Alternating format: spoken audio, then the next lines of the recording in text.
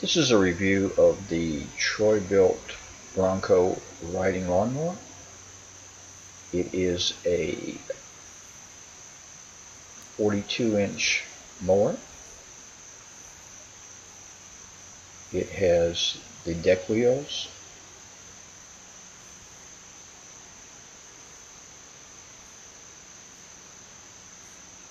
Nice cushioned seat.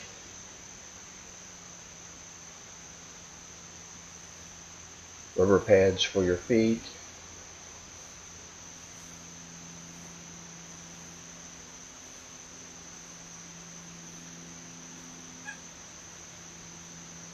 and is a very nice mower. It has proven to do a very efficient job of trimming the yard and have been very pleased with its performance in the few months that we've owned it.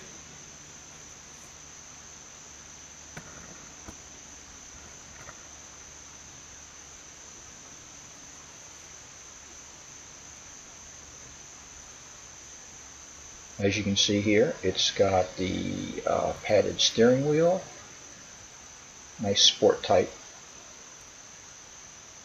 appearance, ignition key, off, run start positions and your throttle control on the left.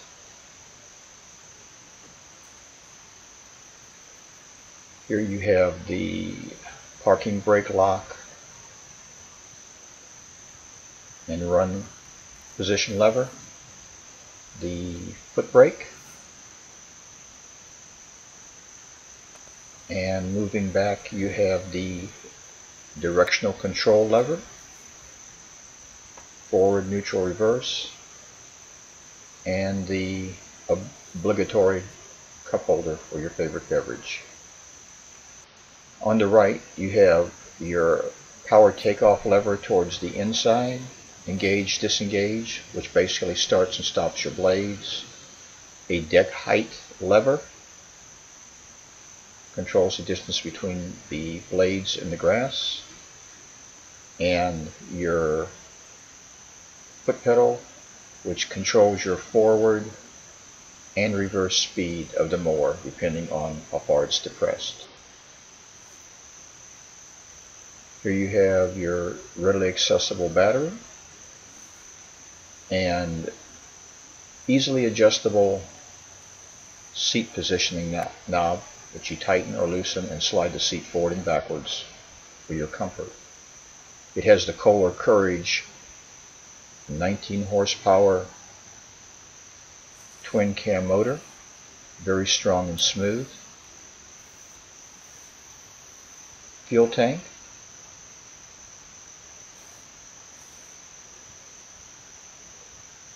Starter generator motor